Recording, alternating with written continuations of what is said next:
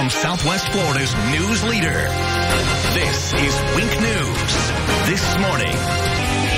All right, now in Wink, we've all heard of produce so fresh it's considered farm to table, but what if the farm was at the restaurant? Wink News reporter John Treeweiler has a story on some of the freshest produce, and it's all right here in Southwest Florida. This is the back service area at the Ritz-Carlton Hotel in Naples, a place many guests would never come to. But if you did, you'd notice this box. However, this is not an ordinary box.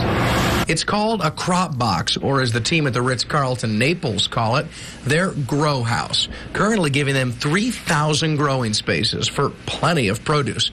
Just how much produce? About 22,000 heads of lettuce this year. Uh, we literally use about 65,000 heads of lettuce per year in all our outlets. And with quantities like that, it's no wonder the Ritz is utilizing Cropbox technology, which saves them water, uses no pesticides or herbicides.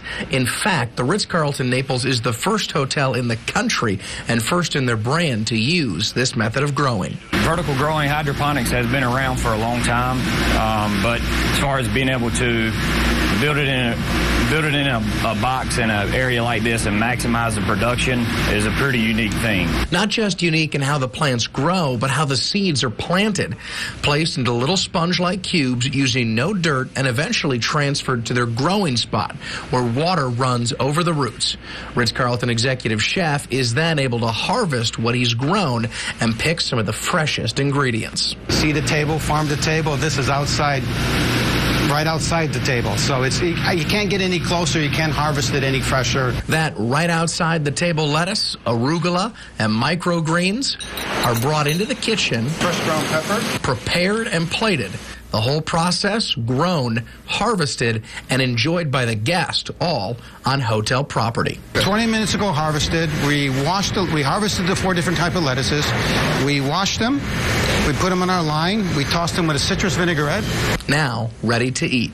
Wow. I mean, you can't get fresher than that. You can't get fresher than that. In Naples, John Treeweiler, Wink News, this morning. Doesn't get fresher than that. No, that looks like some good stuff. And anytime you can enjoy something healthy at the same time, eh, that's that's the best way to do it. Healthy, green, good stuff.